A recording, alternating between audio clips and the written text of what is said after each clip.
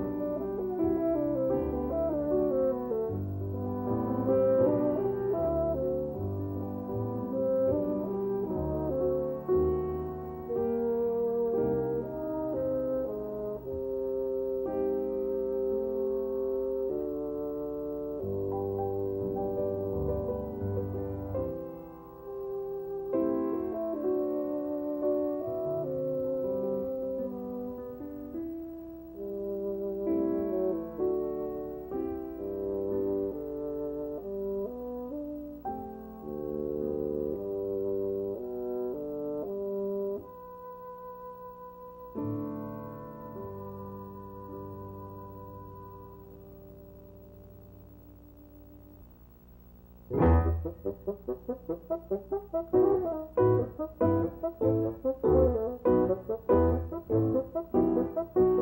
you.